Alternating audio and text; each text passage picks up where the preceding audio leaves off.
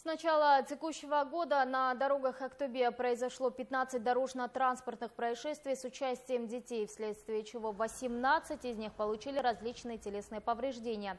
В этой связи на территории области с 12 по 14 мая стартовало оперативно-профилактическое мероприятие «Внимание, дети». Так, в ближайшие три дня на пешеходных переходах вблизи учебных заведений будут выставляться наряды патрульной полиции. Они, в свою очередь, будут проводить разъяснительную работу с участниками дорожного движения.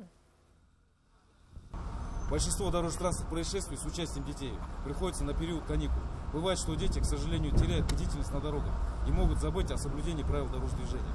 Поэтому родителям необходимо выбирать своим детям безопасные маршруты следования в школу, домой, также сопровождать учащихся начальных классов, таким образом закреплять у детей навыки безопасного поведения на улицах и на дорогах.